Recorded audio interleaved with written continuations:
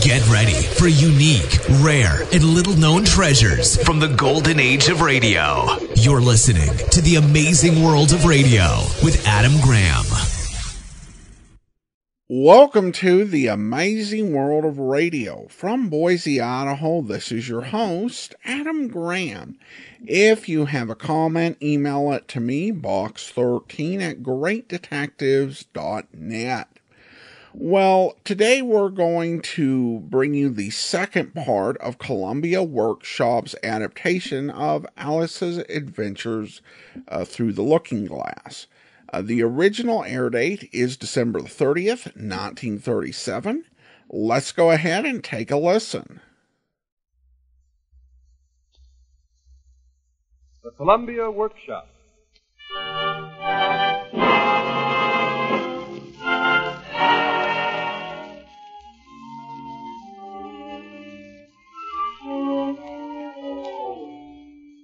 Tonight, in presenting the second part of its radio extraction of Lewis Carroll's fantasy, Alice's Adventures Through the Looking Glass, the Columbia Workshop continues an experiment begun last autumn when it presented Alice's Adventures in Wonderland. These classics are being broadcast in an effort to determine just how far music can substitute for sound effects. In tonight's presentation, as was the case last week, all sound effects are executed by orchestral instruments and are a part of the musical score especially written for the broadcast by Leith Stevens and Paul Starrett. The Columbia Workshop wants to know how successful this experimental broadcast has been. We welcome your comments, suggestions, and criticism.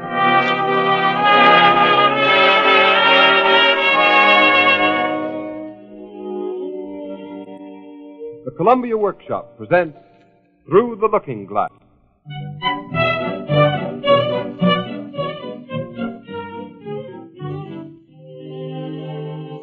Had been playing Let's Pretend again. And while she was pretending that the black kitten was really the red queen in her chess set, and that she really could get through the mirror into Looking Glass House, it happened.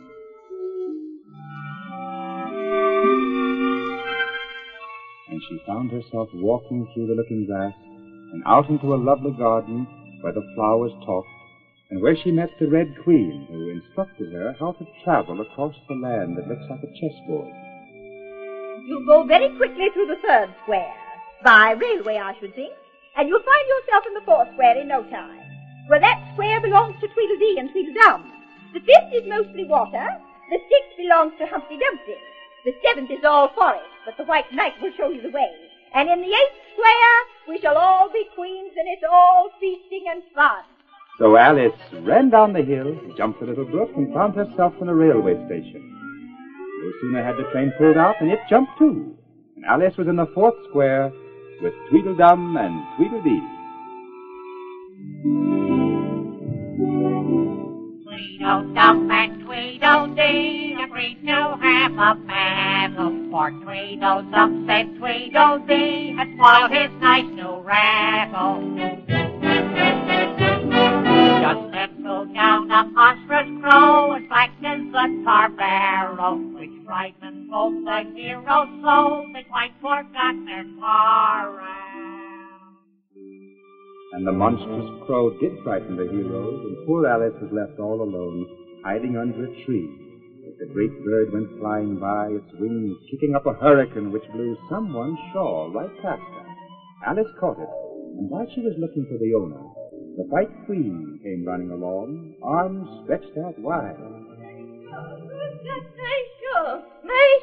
Here you are, ma'am. May I help you put it on, ma'am? Uh, Your Majesty? For I am addressing the White Queen, aren't I? Well, yes, if you call that a dressing, it isn't my notion of a thing at all. Here, let me do it. Oh, oh, oh, oh dear, my finger is bleeding. Oh. What's the matter? Have you pricked it? No, I haven't pricked it yet, but soon I shall. Oh! When do you expect to do it? When I finally fasten my shawl. The brooch will come undone directly. Oh, oh, now there. What did I tell you? It's open now. Oh, take care. You're holding it all crooked. There, it's pricking, see? Well, that accounts for the bleeding. But why don't you scream now? Why, I've done all the screaming already. But that's all backwards. First you should prick your finger and then scream. How perfectly silly. I should fall that way backward. Well, in any case, I hope your finger's better now. Oh, much better. Better, better. Alice looked at the White Queen in astonishment. Then she rubbed her eyes and looked again. She was in a little dark shop, leaning with her elbows on the counter, and opposite her was an old sheep, sitting in an armchair, knitting, and every now and then leading off to look at her through a great pair of spectacles. Come, you must buy something. You're holding everybody up. Why, there's no one else here but me. Indeed. Well, all you know about it. What do you want to buy? Well, do you have any eggs? Certainly. How do you sell them? Across the counter in exchange for money. I mean, how much are they? Five cents farthing for one. Two cents for two. Then two are cheaper than one. Certainly. Only you must eat them both if you buy two. Oh, then I'll have one, please. For I mightn't like them, you know. Here's your money. But there's my egg. Oh, I never put things into people's hands. That would never do. You must get it for yourself. It's yonder on a shelf at the back of the store. I wonder why it wouldn't do. Goodness, the egg seems to get further away the more I walk toward it. And it's so dark back here. Oh, this must be a chair I'm running into. What? I declare it's got branches. How odd to find trees growing in a shop. And actually, here's a little brook. Well, this is the queerest shop I ever saw.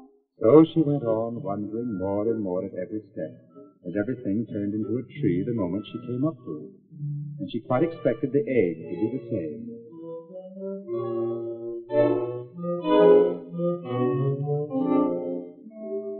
However, the egg only got larger and larger and more and more human.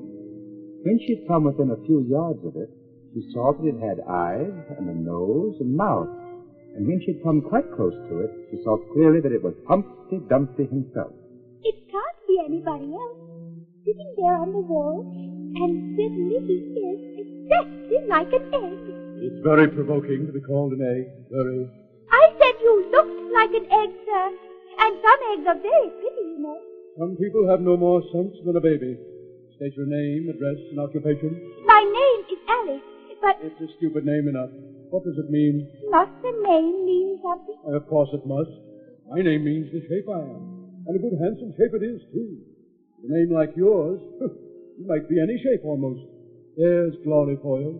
I don't know what you mean by glory. Well, of course you don't till I tell you.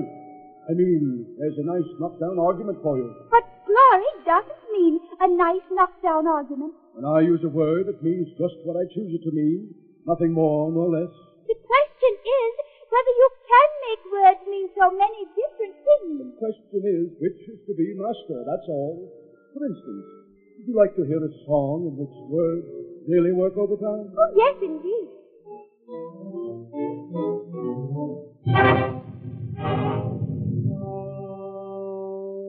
was thrilling, and the flighty cold did gyre and gimble in the wabe. All misty were the borough groves and the murmurous outgrabe. Beware the Jabberwock, my son, with claws that bite the stars of catch. Beware the Jub Jub bird and son of frumious Bandersnatch. He took his sword in hand.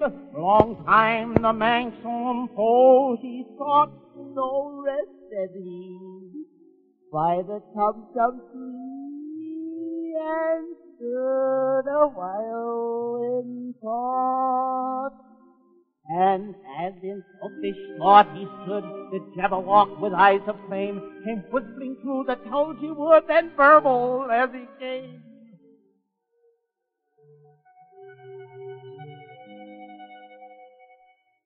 One, two, one, two, and two, and two, the vorpal blade went snicker snack.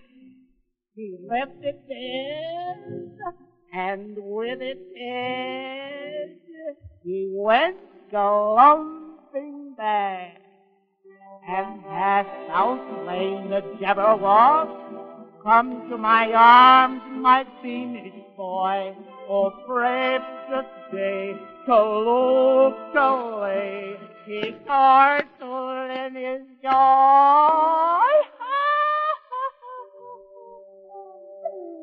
was thrilling.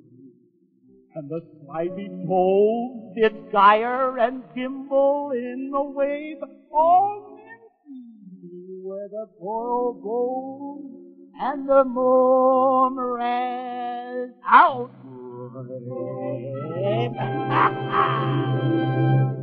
My, how Well, what do you think of that? I'm sorry, but it doesn't seem to make much sense. Sense?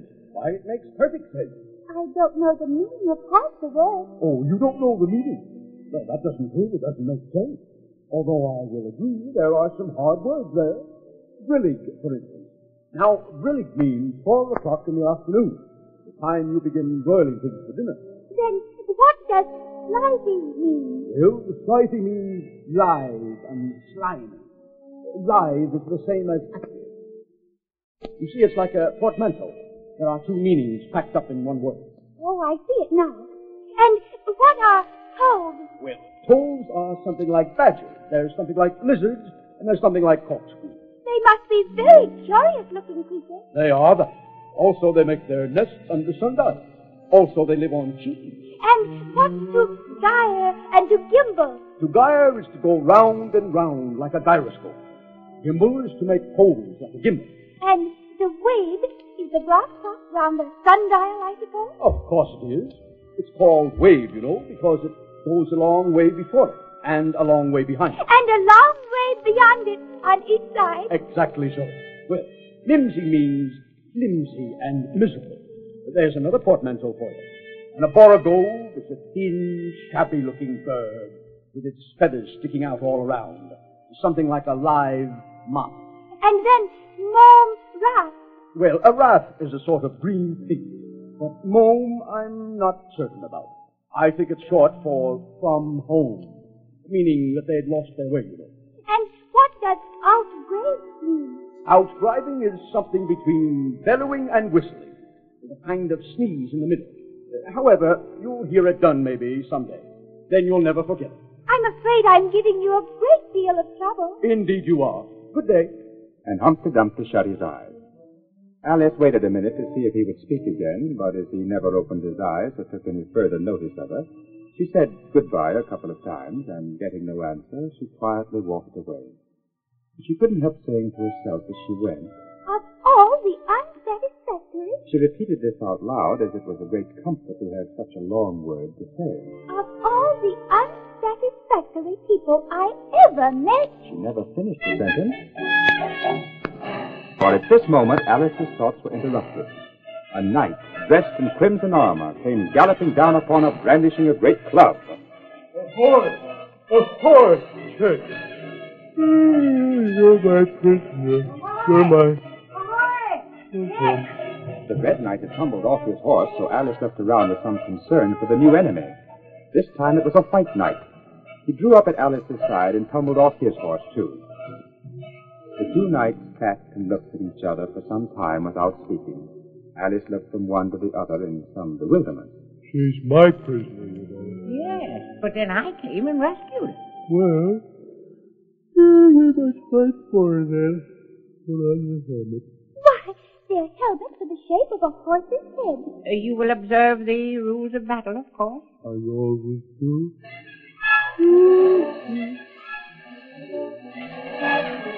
I wonder now what the rules of battle are. One rule seems to be that if one knight hits the other, he knocks him off his horse. And if he misses, he tumbles off himself. And another rule seems to be that they hold their clubs with their arms, as if they were Punch and Judy. What a noise they make when they tumble, just like a whole set of fire irons falling into the fender. And how quiet the horses are. They let them get on and off them just as if they were tables. Another rule of battle that Alice had not noticed seemed to be that they always fell on their heads, and the battle ended with their both falling off in this way, side by side. When they got up again, they shook hands, and then the Red Knight mounted and galloped off.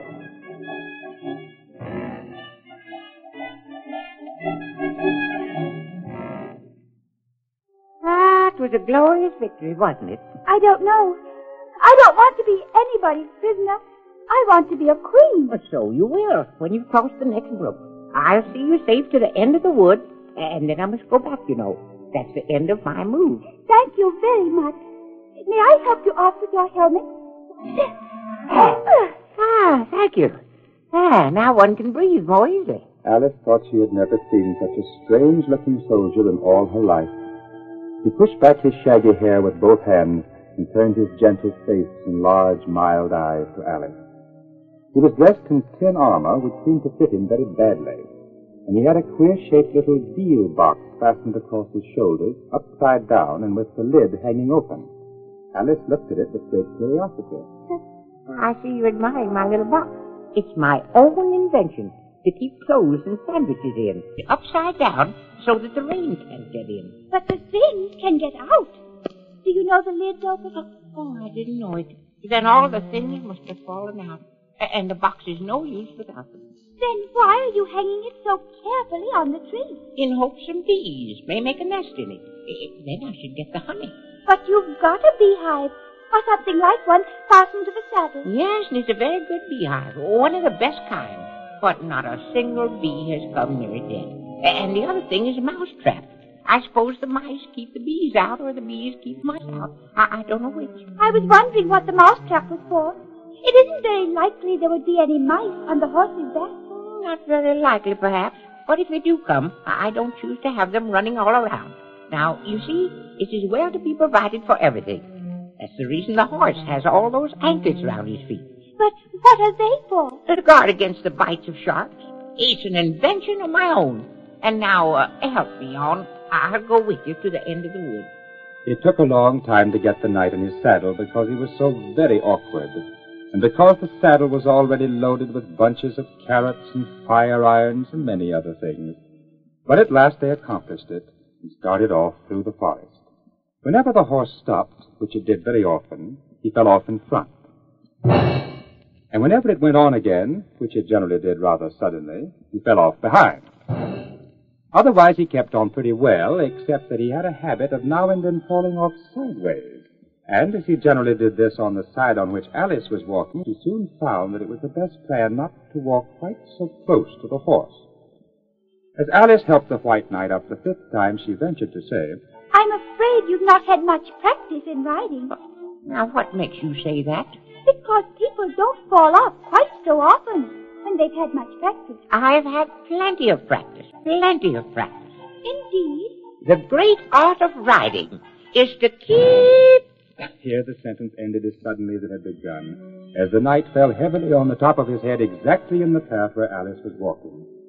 She was quite frightened this time, and said in an anxious tone as she picked him up, Oh, I hope no bones are broken. Oh, none to speak of. The great art of riding, as I was saying, is to keep your balance properly. Like this, you know. He let go the bridle and stretched out both his arms to show Alice what he meant. And this time he fell flat on his back, right under the horse's feet. As Alice was getting him on his feet again, he kept repeating, Plenty of practice. Plenty of practice. Oh, it's too ridiculous. You ought to have a wooden horse on wheels. That you ought. Uh, does that kind go smoothly? Much more smoothly than a live horse. I- I'll get one. One or two, several. I'm a great hand at inventing things. Now, uh, I dare say you noticed the last time you picked me up that I was looking rather thoughtful. You were a little grave. Well, just then I was inventing a new way of getting over a gate. Uh, would you like to hear it? Oh, very much indeed. You see, I said to myself, the only difficulty is with the feet. Now the head is high enough already. Now, first, I put my head on top of the gate. Then the head's high enough. Then I stand on my head. And then the feet are high enough, you see. Then I'm over. You see? Yes. I suppose you'd be over when that was done, but don't you think it would be rather hard? Well, I haven't tried it yet, so I can't tell for certain. But, oh, you want to get along. Perhaps I'd better leave. Oh, you needn't rush off. No, but I must. And you've only a few yards to go, down the hill, and over that little brook, and then you'll be a queen. Uh, but you'll stay and see me off first. I, I shan't be long. You'll wait and wave your handkerchief when I get to that turn in the road. Oh, I think it'd encourage me, you see. Of course I'll wait. And thank you very much for coming so far. So they shook hands, and in the night rode slowly away into the forest. It won't take long to see him off, I expect.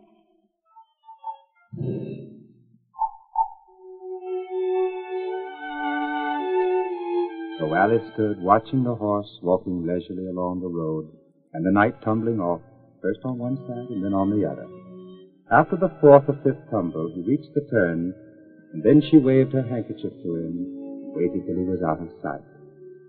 Then she turned around and started to run down the hill. I hope it encouraged him.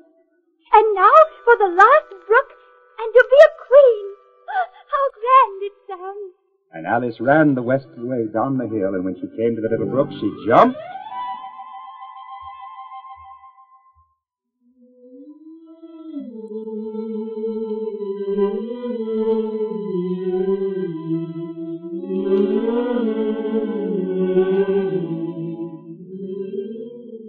Found herself standing before a great arched doorway on which the words Queen Alice were carved, and on the other side of which she heard voices singing. In her hand she carried a scepter, and on her head she wore a great golden crown. She was indeed at last a queen, but a slightly puzzled one, for at either side of the great door was a bell, and one was marked Visitor's Bell, and the other Servant's Bell. Now, which bell shall I ring? I'm not a visitor, and I'm not a servant. There ought to be one marked Queen, you know. Oh, it's all right. Someone's opening it. No admittance till week after next. Oh, the impertinence. And Alice knocked and rang in vain for a long time, until at last the very old frog who was sitting under a tree got up and slowly hobbled up to her. What is it now? There's the servant whose business it is to answer this door. Which door? This door, of course. What's it been asking? I don't know what you mean. I speaks English, doesn't I? Or are you deaf? What did it ask you? Nothing. I've been knocking at it. Shouldn't do that. Shouldn't do that at all. Vexes it, you know. Let it alone, and it'll let you alone. But just at this moment the door flew open of its own accord, and Alice looked in on the banquet hall, just as another song began. It was Alice that said, I've a scepter in hand, I've a crown on my head. Let the looking glass creatures, whatever they be, come down with the red queen, the white queen, and me. Fill up the glasses as quick as you can, and swing on the table with buttons and. Put caps in the coffee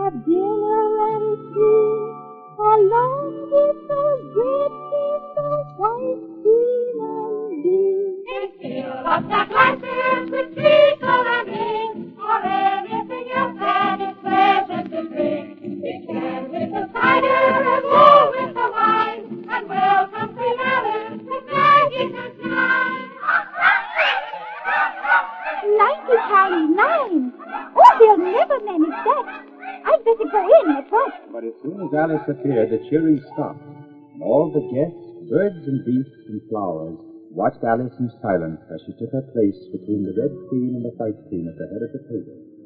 It's nice of you to give my party for me, Your Red Majesty. I should never have known who were the right people to invite. You've missed the soup and fish. Put on the joint. Uh, your oink, Your Majesty. You look a little shy. Let me introduce you to this leg of mutton. Alice Mutton. Mutton Alice. And the leg of mutton got up in the dish and made a little bow to Alice. And Alice returned the bow, not quite sure whether this was the right thing to do or not. May I, uh, give you a slice, Your Majesty? Certainly not. It isn't etiquette to cut anyone you've been introduced to. Remove the joints and bring on the pudding. I won't be introduced to the pudding, please, or we shall get no dinner at all. The, the, the, the pudding, Your Majesty. Pudding, Alice. Alice, pudding. Remove the pudding. Waiter, bring back the pudding. The, the, the pudding, Your Majesty. Now, Your Majesty, here is a slice of pudding for you. What impertinence. I wonder how you'd like it if I were to cut a slice out of you, you, you, you creature. Why, uh, uh, Make a remark. It's ridiculous to leave all the conversation to the pudding. What shall I say? Nothing. We'll drink your health instead. Queen Alice's health. You ought to return thanks in a neat speech. Must I? Of course. Very well.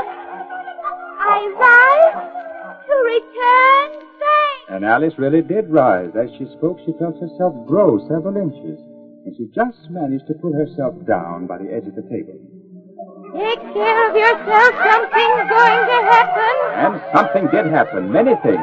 The candles grew until they became huge fireworks, and the bottles took plates and fixed them on his wings, and with forks for legs began fluttering around the room. And the leg of mutton usurped the White Queen's chair, while Alice just had a glimpse of Her Majesty's good-natured face grinning at her over the edge of the soup tureen before she disappeared for the third time into the soup.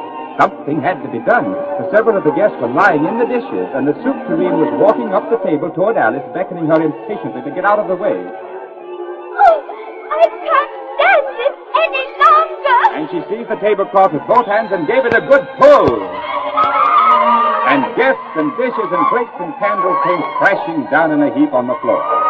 Alice turned to look for the Red Queen, whom she considered somehow to be the cause of it all, but Her Majesty dwindled to the size of a doll and was running merrily around the table after her own shawl. Alice grabbed her up. As for you, I'll shake you into a kitten. I will. She took the Red Queen off the table and shook her back and forth with all her might.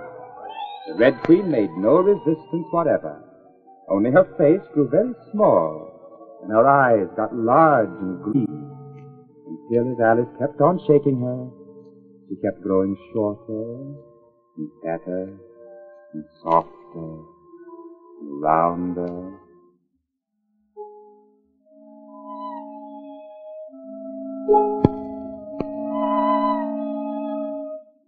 And it really was a kitten after all.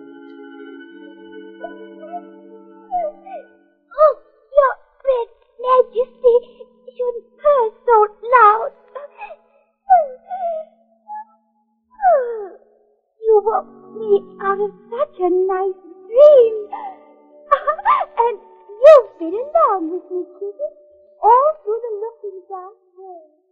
Did you know?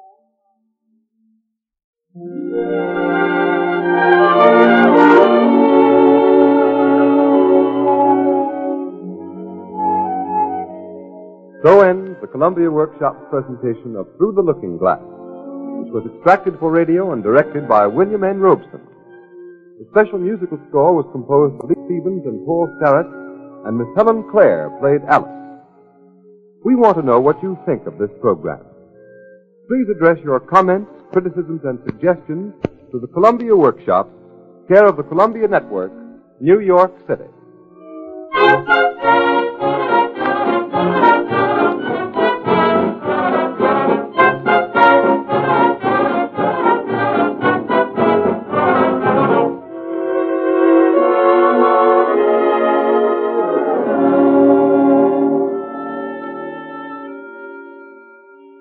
Beginning next week, The Columbia Workshop will be heard on Saturday evenings at 8 p.m. Eastern Standard Time. Don't forget the workshop's new series of experimental broadcasts begins a week from Saturday, January 8th at 8 p.m. Eastern Standard Time.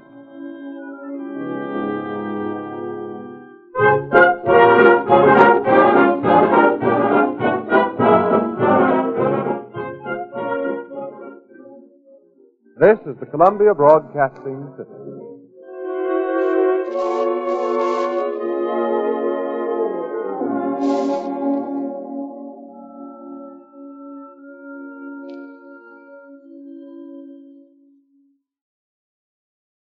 Welcome back. Well, uh, an interesting request for feedback, and I actually uh, liked it. Uh, the way that they were doing and what they were doing over the radio was the type of thing that Disney would do with uh, films when they got into releasing things such as uh, Fantasia. This idea of using music to tell the story and communicate uh, things like sound effects. And of course, in a lot of the Disney films, uh, it was used, you know, as a substitute for dialogue, where, you know, I, and obviously you can't do that over radio, but if you're, you're watching some of these uh, Disney films, you can just kind of imagine what's being said based on the music being played. Overall, I thought that uh, these were pretty solid, faithful adaptations. At times, you could feel like it was almost slave to the text without